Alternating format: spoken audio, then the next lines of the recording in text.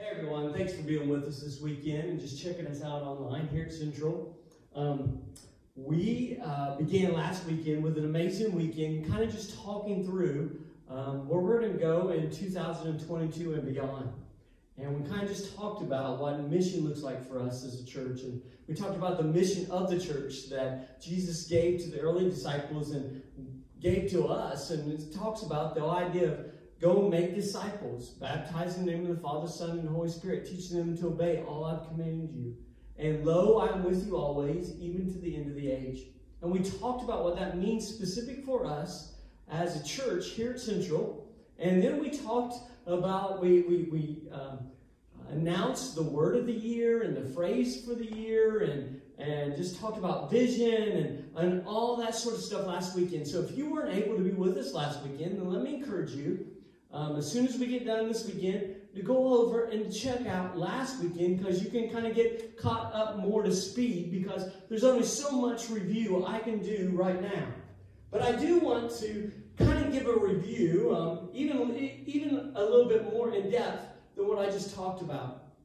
Like I said, the word of the year um, is the word home.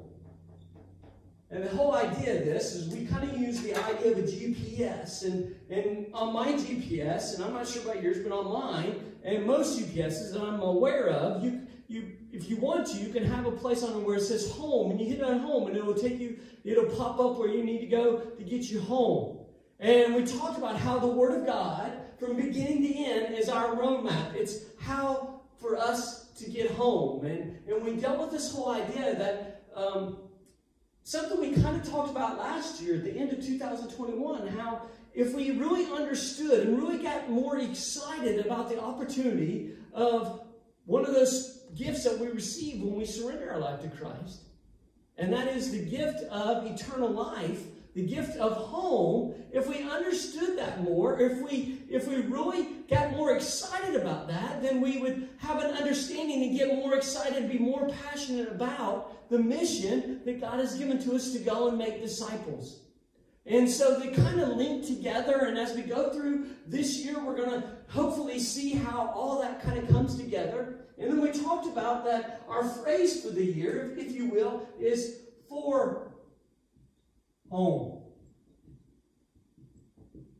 In other words, everything we do is for home. Everything we do is to lead home. And it's kind of like this idea that, hey, where are you going? Well, I'm going home. Hey, let's go home. Uh, let's, let's head home together. And, and it's kind of that concept. And we, we dove into that a little bit last weekend. And again, as we go throughout this year, um, that's our theme. This is our word for the year, our phrase for the year, and kind of the direction we're going. But then we talked about, okay, here's the mission of the church. But then for us individually, as the church, what does that look like for us? In other words, who are we in the mission? And in the whole body of Christ, in the, in the body of the church, who are we? And we, we, we broke out this phrase. It says, we are a community that's in love with Jesus. And we all said last weekend that uh, I asked, could we be in love with Jesus? And everybody said, yes, we can. We're a community that can be in love with Jesus in such a way that we influence our neighbor. So in other words, can we strive to be in love with Jesus in such a way that's influencing our neighbor? And who's our neighbor? It's, in other words, anyone we're coming in contact with, that we're in love with Jesus in such a way that we're influencing our neighbor to find and experience the healing love of Jesus. We are a community in love with Jesus in such a way that influences our neighbor to find and experience the healing love of Jesus. And that's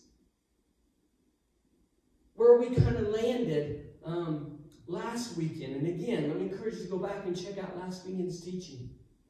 But then we even dove into this a little deeper. We said, okay, this is who we are. Here's the mission. This is who we are. But now, how are we going to accomplish this?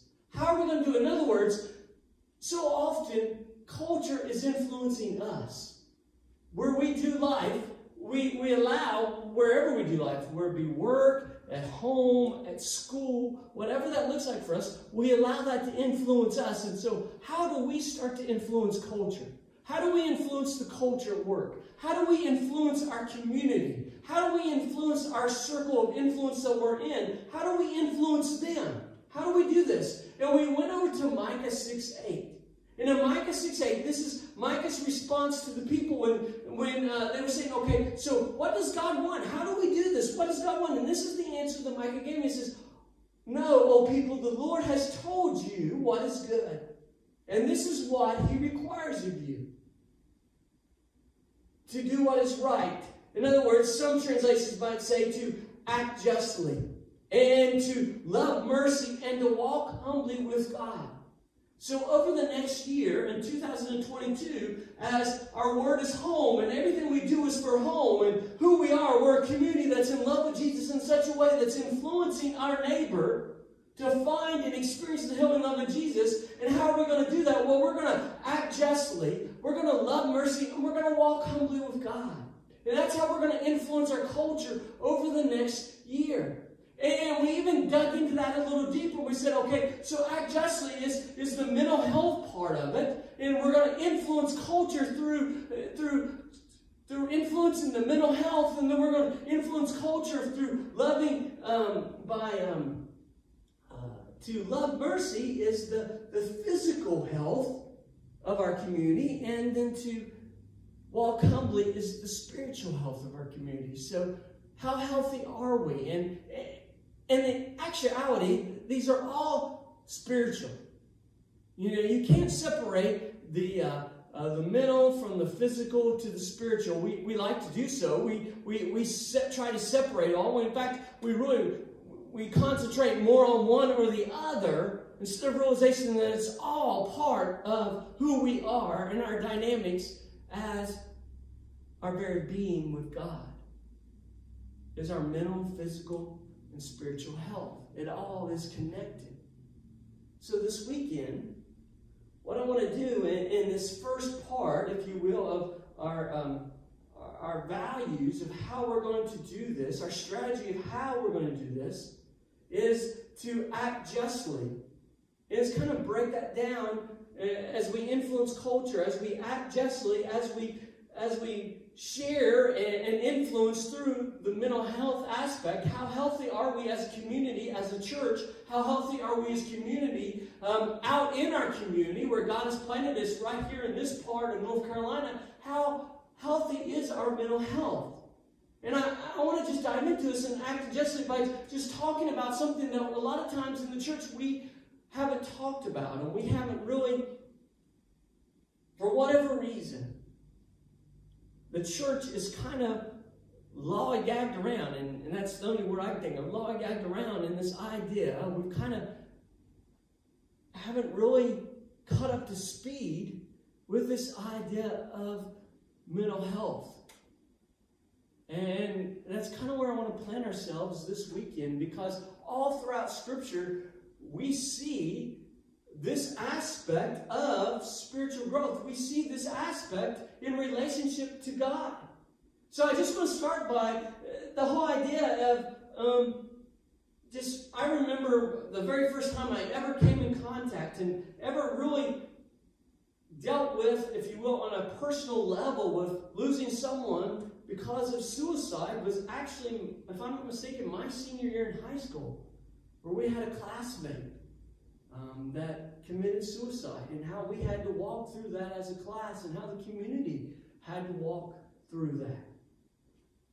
I, I and think down through times in my ministry where um, uh, ministering to families that lost loved ones and community that lost people that were um, really influential in that community and really involved in that community that had committed suicide and being a part of, um, whether it be leading in that funeral or just being a part of loving on that family or, or those individuals during that time.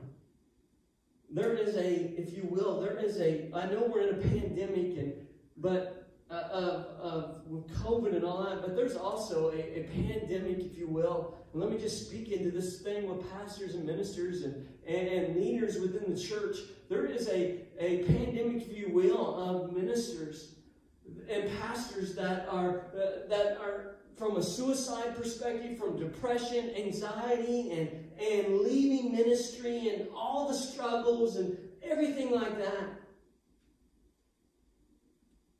This is something we should have been talking about a long time ago in the church. It's something we should have dealt with, and we have, for whatever reason, we have really been behind on this. But may we not be a church, may we not be part of the church that is behind, but is actually influencing church culture and our community culture and influencing on the idea of acting justly by looking and loving in the aspect of mental health. We don't like to talk about mental illness in the church for whatever reason. Because I really don't get it. Because if you really dive into Scripture, if you look at Scripture, Scripture is filled with men and women all throughout Scripture who struggled with emotional, uh, with their feelings and, and with mental illness and with anxiety and with depression and even, even with the idea of suicide. One in five adults in the U.S. experience mental illness. One in 25 live in severe mental illness. One in five children ages of 13 to 18 have or will have a serious mental illness. 90% of those who have died by suicide had an underlying mental illness. They were struggling, they struggled with depression, or, or depression is the leading cause of disability in the world. Think about that. When you look at suicide and you break down the, the, the demographics and all that, uh, the, suicide, the suicide rate is four times higher for males than females. In the United States, male deaths make up almost 80% of all suicide deaths. The suicide rate is one in eight times higher in rural America than in urban America. If I break that down into the age groupings, um, and if you're tracking with me here, and the, age groupings are leading cause of death, ages 10 to 14, suicide is the third leading cause of death. Ages 15 to 34, it's the second leading cause of death. Ages 35 to 44, it's the fourth leading cause of death. If you fall into the age gap of 45 to 54, it's the fifth leading cause of death. Ages 55 to 64, it's the eighth leading cause of death. And 65 and older, it's the 17th leading cause of death. People are dying by suicide. Now, what I, I want to just look at here and, and just encourage you to take notes and maybe we just can we just make a pledge now, if you will? I don't know if you will, just um, a commitment, um, if you will, that we do not hear to these myths that I'm about to talk about. There are myths that, that have, for whatever reason, have made their way in the church or, or things that we think of or things that we might say within the church or within our Christian dynamics that are just not true. The first thing is we need to stop believing that depression is a faith issue. We need to stop believing that depression is a faith issue. That true followers of Christ, true followers uh, that have surrendered their life to Christ, that they should not and they do not suffer from depression, and that's just not true. In fact, I think it is one of the worst lies of all that we can actually share as a church or as a Christian culture, as a followers of Christ. It is a fake, it, it is a lie that Satan tries to use. That, that it's just one of those many lies that Satan tries to use to push people away, and it's just not true. It's just not. If you look again all throughout Scripture, we see followers of Christ that struggle, struggled with anxiety, that struggled with depression, that struggle, struggled with suicide. See, Christians are never promised a pain free, disease free, struggle free life. I don't really know where that ideology or, if you will, that doctrine made its way into the church. That if I surrender my life to Christ, that if I become a follower of Christ, that I won't have any worries anymore. I won't have any problems anymore. I won't have any anxiety. I won't have any concerns. That my life is all going to be just, just be amazing. I don't know where we came up with that idea. I don't know how it made its way into the ideology of the church. But again, it's a lie. It's not true. We are promised a Savior. We are promised a comforter. We are promised a friend. But we are never, never, never promised a life that would not be pain free or disease free or struggle free. See, depression has nothing to do with our lack of faith. In fact, what I've learned down through the years is so often, whether it be in my own life or watching through other people's lives, is that because of that depression or because of that hardship or because of that anxiety problem, it actually leads people into the presence to, in Jesus in a way that actually strengthens their faith or has strengthened their faith. So we got to stop believing the depression, that believing that depression is a faith issue. We need to stop. Here's number two. We need to stop believing the depression can be prayed away. Now, for you that, that know me real, you know, y'all know I, I am I, I I I believe in prayer. I believe in being very specific in prayer. And what I'm saying here is, is that in, in, the times that we are dealing with depression or family members or friends or, or as we pray over people that we, we, again, we should be praying for freedom from depression. We should be praying for freedom of from anxiety, from mental illness. But at the same time,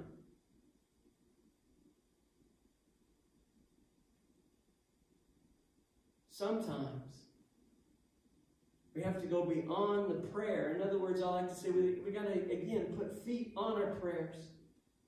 Sometimes we need to rally around the support of, of counseling or even the idea of medication.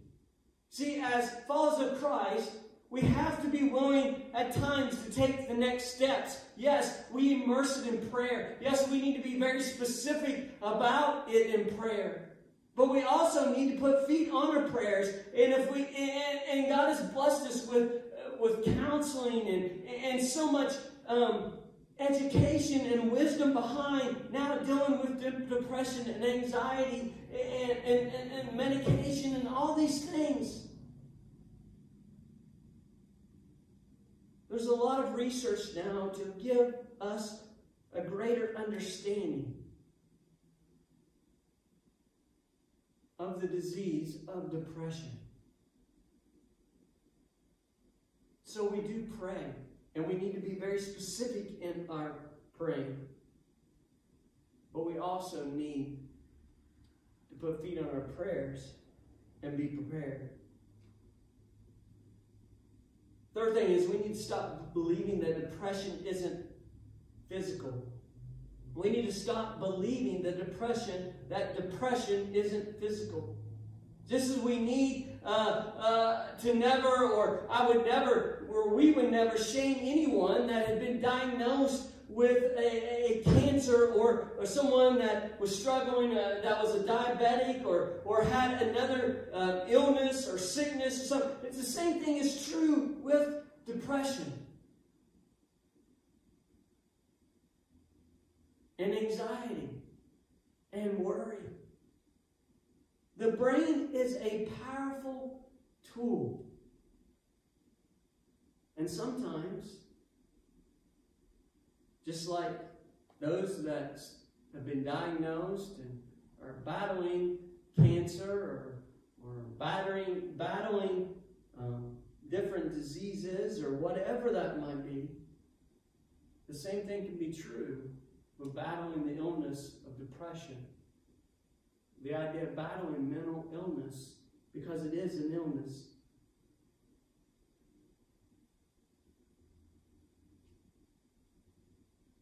There are many causes for depression.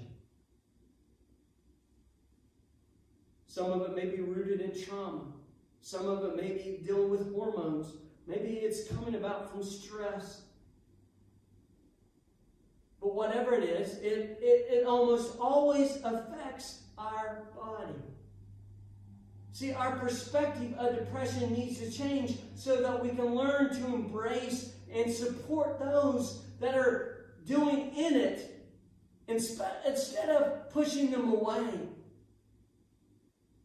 So we need to stop believing that depression is a faith issue. We need to stop believing in the myth that depression can be prayed away. We need to stop believing that depression isn't physical, but we also need to stop believing that depression shouldn't be talked about. That's why we're talking about it this weekend. It's like this thing that's just not discussed, and I realize that there's there's a stigma that's there with when you deal with when when you start to talk through anxiety and you start to to reveal that maybe you're struggling with depression or you struggle with this aspect of worry or anxiety whatever it looks like i realize we have moved uh, we've really grown in a culture where it's not a, a, as much of a stigma and uh, different people have come out talking about it and all but i realize it still is something that is that is looked at a lot of times in stigma in fact, I just recently listened to a, um, a conversation between two pastors, and one of the pastors was sharing, he just released a book. I don't remember right off the top of my head the, the name of the book, but he just released a book that's actually dealing with this very subject. I'll try to get it out to you. Uh, go back and do some research to get the name of the book out. But he just released this book and talking about that, how he, through since the age of six, has been dealing with um, anxiety and depression. In fact, he even talked about that for 45 days straight. I can't even envision this, but for 45 days straight, that he struggled with a um, with, with having a, anxiety attack for 45 days straight.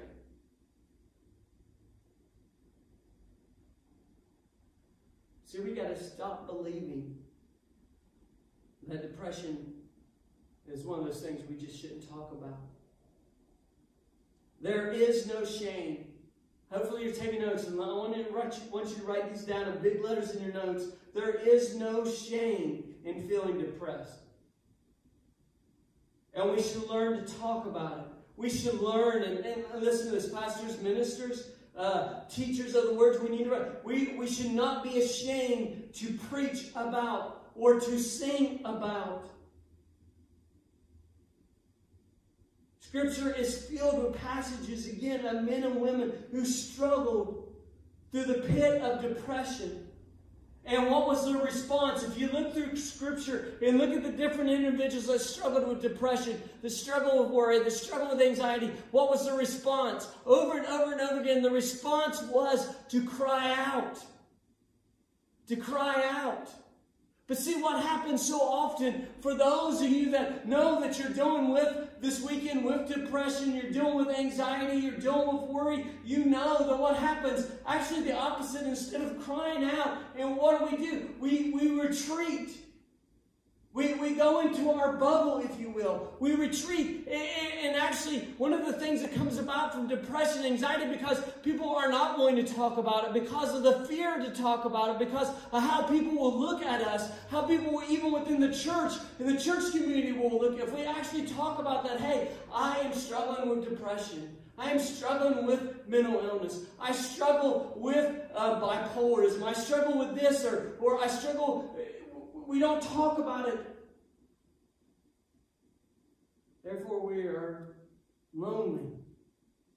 And then we fall into this trap of this prison of loneliness. And we just sink deeper and deeper and deeper into this grip of depression and loneliness and anxiety, and it grips on us. You see, there's healing in crying out.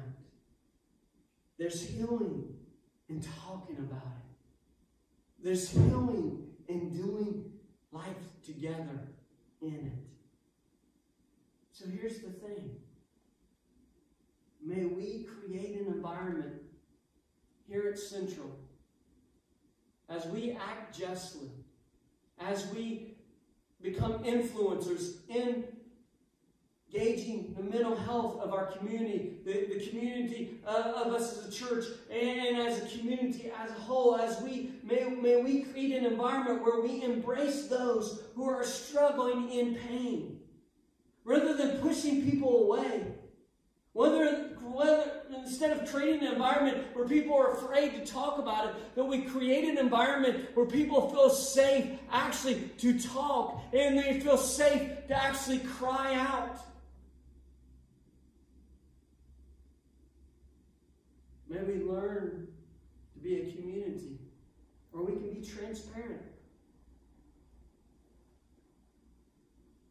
We talked about this some last weekend that, you know, in our homes, now, now sometimes maybe not, um, maybe because of different individuals that's in your home, you still wear your mask, but for a lot of us, maybe in our home, if you will, and I realize there's, you know, there's just tracking with me on this whole idea of home that when we get home, you know, you are who you are in your home, and that's the place that we, we, we try to at least remove our mask to, to, to if even even in the, some dynamics of who might be there, we, we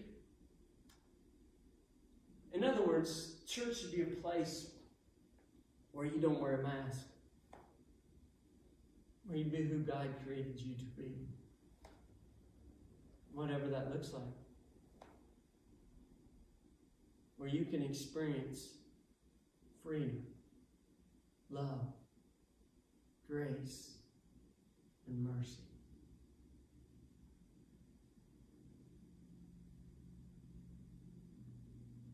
May we be a church culture, a church culture influencing the culture as we act justly. Why? for home. For everything we do is for home. Everything we do is for home. Now, I want, if you will, uh, just encourage you to, to, just skim over and look over with me over 1 Kings chapter 19.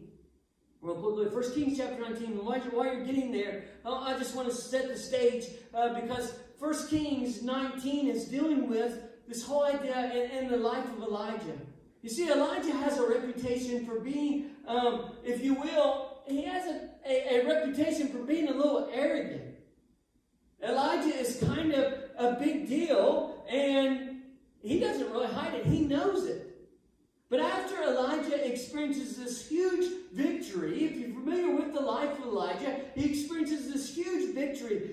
He's watching God move uh, uh, over the prophets of Baal. And we see this over in 1 Kings chapter 19. And, and Queen Jezebel threatens him, and Elijah is filled with panic.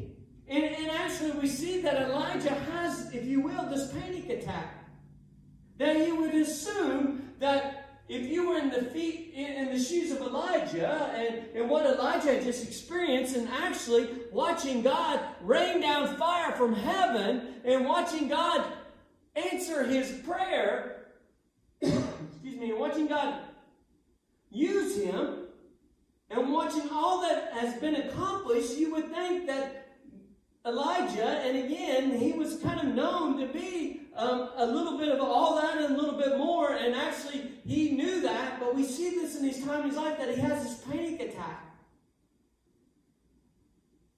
And he becomes consumed with fear because Jezebel has threatened to kill him. So what does Elijah do? Instead of standing up to Queen of Jezebel, Elijah actually goes on the run. He runs to the wilderness.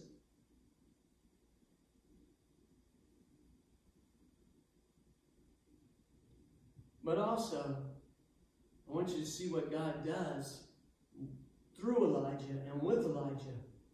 And there's a couple things we can learn how to help to minister to those that we come in contact with and we do life with that are dealing with, whether it be a panic attack or whether it be bipolar or whether it be um, whatever that looks like.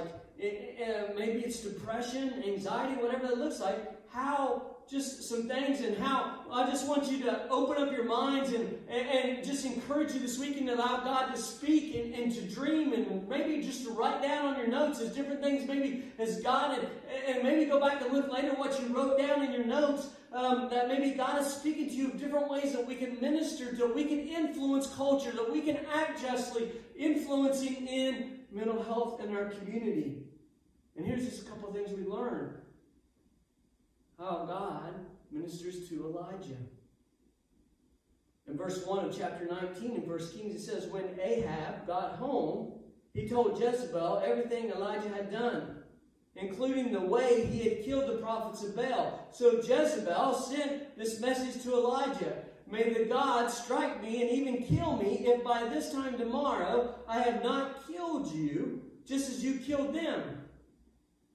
Verse 3 says Elijah was afraid and fled for his life.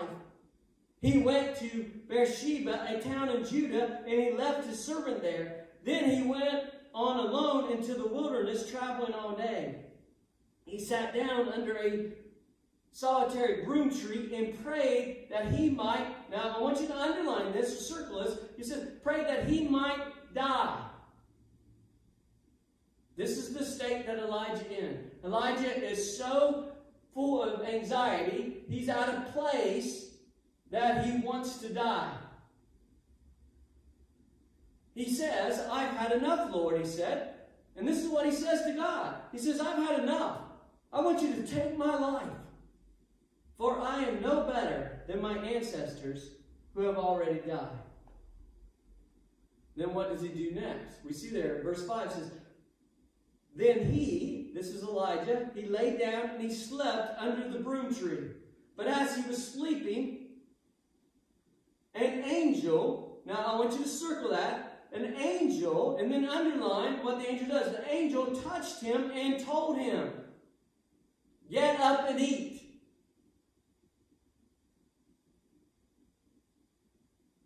Elijah wakes up, and this is what he, look at verse 6 says, he looked up, he looked around, and there beside his head was some bread baked on hot stones and a jar of water.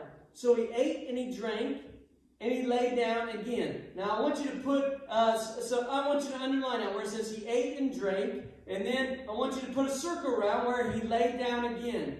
And then go on to verse 7, it says, Then the angel of the Lord came again and touched him and said, Get up, eat some more, and, and then I want you to put a box around this. It says, or the journey ahead will be too much for you. In other words, what is the angel saying to Elijah? Uh, here's your food. Elijah, you need to eat and you need to rest. And then the angel tells him why. He tells him, do you notice this? He says, because Get this, I have something for you. You're about to go on a journey. Your life is not done yet. Your life is not ended yet. God still has something for you. But before we go there, I need you to eat and I need you to drink. I need you to rest. But it's very important that we acknowledge and that you highlight some way that the angel is telling me that Elijah is about to go on a journey. But this is what you need to do to prepare for this journey. Verse 8 says, this is what Elijah does. So he got up and he ate and he drank.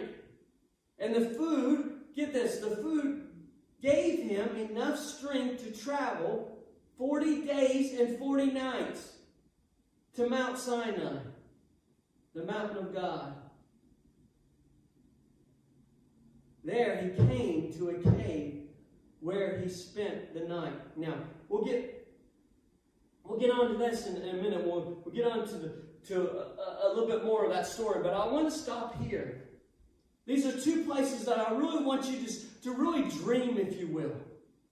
To really dream as we're going to, as the very first part of our, our core value is how are we going to do this? Is we're going to act justly, is we're going to be influencers in the mental health. We're going to create an environment where we're influencing and we're ministering and we're loving. I want you to notice, and how do we do this? And, in, multiple ways, and I want you to allow yourself to dream. But but I want you to to know note here that how did God how did God do it? How did God minister to Elijah in this place at this time?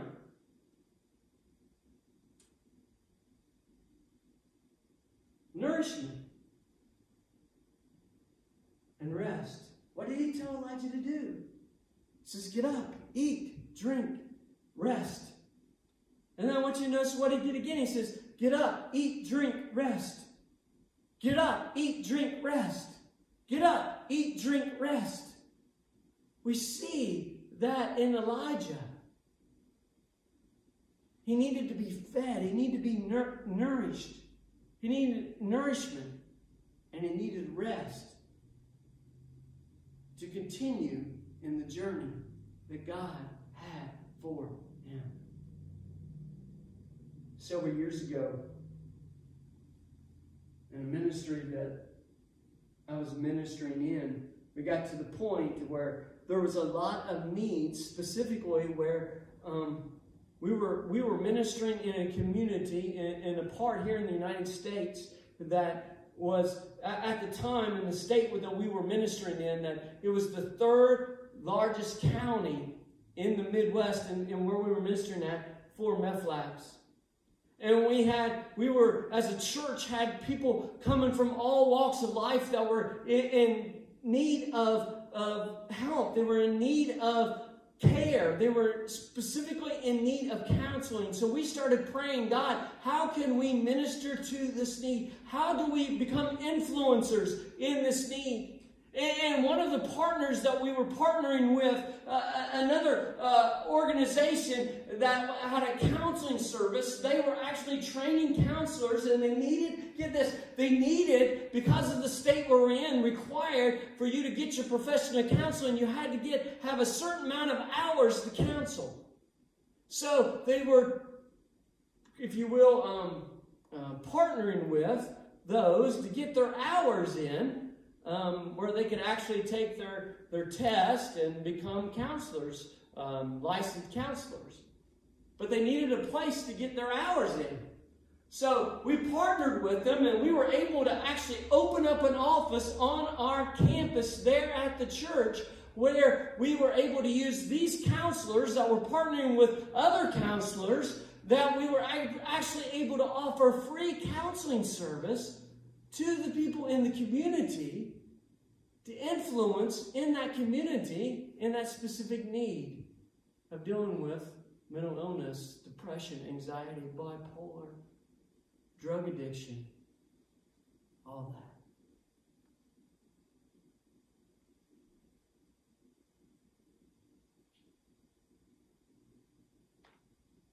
I remember a time when um, came up with this idea that we would um, one of the ministries I was in with, with hey, um, there, there's a desperate need. There's so many people that are going without food. I don't know if you realize it or not, but the two largest groups, and specifically in America, that are, are going hungry are, of course, our, our children, our kids, but also senior adults.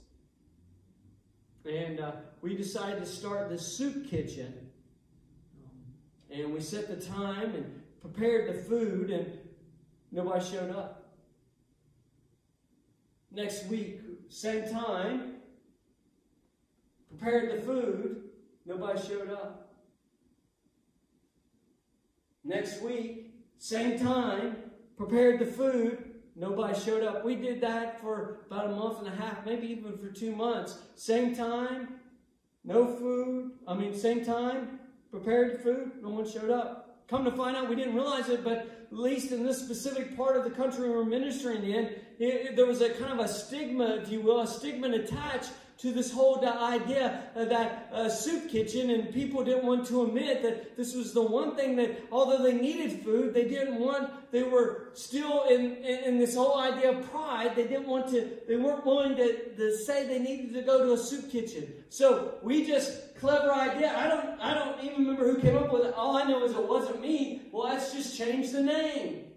So we just called it free lunch.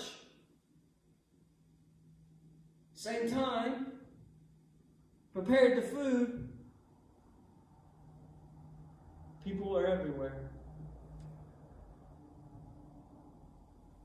So we had free lunch. I think it was on Wednesday, so I think we called it Free Lunch Wednesdays. Now, the reason I'm sharing those, throw just throwing those out there, out there to you is because I want to just challenge you to dream. How do we minister to and, and create an environment where people can rest? How do we create an environment where people can experience nourishment and, and they can repeat in that rhythm over and over again? Why? Because God's not done with them yet. Why? Because it's for home. And everything we do is for home.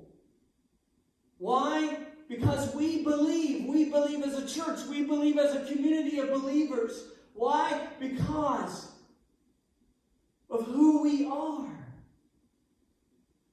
We are a community that's in love with Jesus in such a way that influences our neighbor to find and experience the healing love of Jesus. And we want to act justly.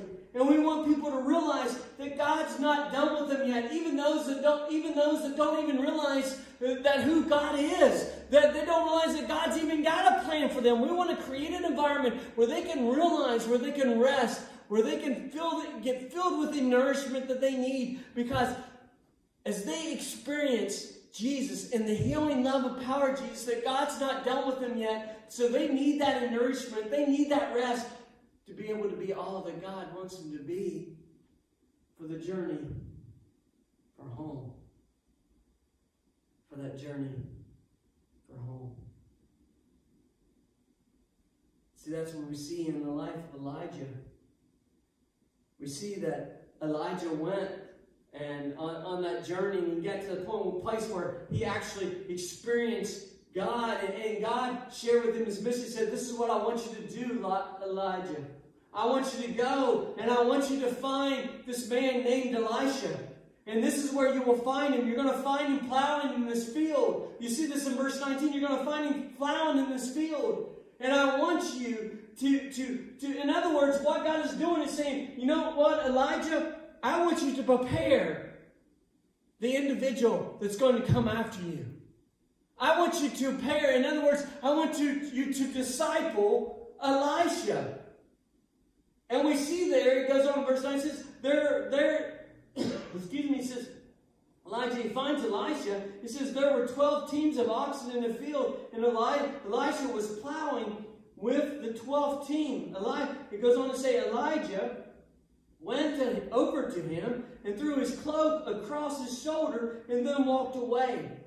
Elisha left the oxen standing there, ran after Elijah, and said to him, First, let me go and kiss my father and my mother goodbye, and then I will go with you. In other words, there's this, there's this kind of uh, this this dialogue, is whatever you want to say, going on between Elijah and Elisha. And Elisha knows that, hey, I'm supposed to go with Elijah. So Elisha's asking first, can I go and kiss my mom and dad goodbye? And Elijah replied, go on back, but I want you to think about what I have done for you. In other words, I want you to think about what is going on here. I want you to think about what is going to transpire. You, that I want you to think, Elijah, Elisha, I want you just to be present. And I want you to think through all that you are about to experience in this decision you are about to make. Verse 21 says, So Elisha returned to his oxen and he slaughtered them. He used the wood from the plow to build a fire to roast their flesh. He passed around the meat to the townspeople and they all ate. Then he went with Elijah as his assistant.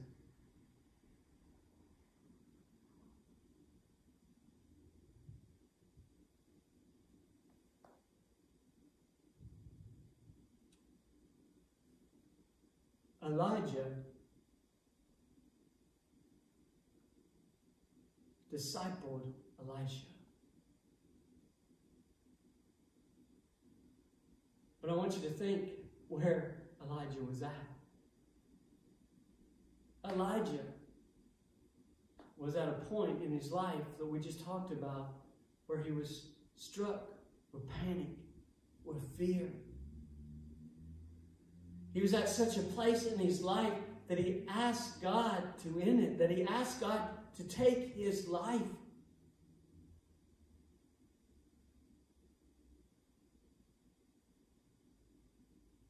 God came through his messenger and angel, and he gave Elijah food and drink, and he instructed him to rest. He gave him food and drink, and he instructed him to rest. And Elijah had this rhythm. Why? That it prepared him for this journey. This journey where he met God, where God instructed him to go and to meet Elisha.